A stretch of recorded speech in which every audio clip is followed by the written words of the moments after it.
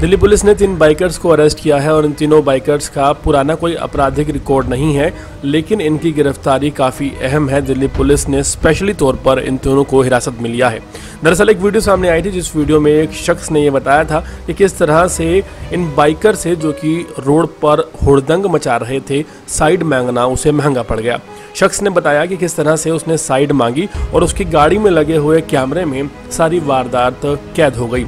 जैसे ही उसने डिपर दिया, इन तीनों बाइकर्स ने अपनी बुलेट इसकी गाड़ी के सामने लगाकर उसे पीटना शुरू कर दिया। मामला दरअसल राजधानी दिल्ली के मुंडका इलाके के नांगलोई मेट्रो स्टेशन के पास का है, जिस वक्त एक शख्स वहाँ से अपनी कार लेकर निकल रहा था। तभी डिपर देने के बाद कुछ लोग गुस्से में आ गए और उसे मारना शुरू कर दिया। पूरी घटना एक वीडियो कैमरे में कैद हो गई, जिसके बाद बाइक सवारों द्वारा बीच सड़क पर ही गाड़ी रुकवाई गई और गाड़ी रुकवा एक शख्स की पिटाई की गई। वीडियो के आधार पर दिल्ली पुलिस ने रोड रेस की धाराओं में एफआईआर दर्ज कर ली है और इन आरोपियों को मुंडका, नांगलई और मंगोलपुरी इलाके से गिरफ़्तार कर लिया गया है। हाल फ़िलहाल जिस तरह से दिल्ली पुलिस ने बहुत ही कम समय में इन तीनों लोगों को गिरफ़्तार कर लिया है, दिल्ली पुलिस की काफ़ी ज़्यादा सराहना की जा रही है।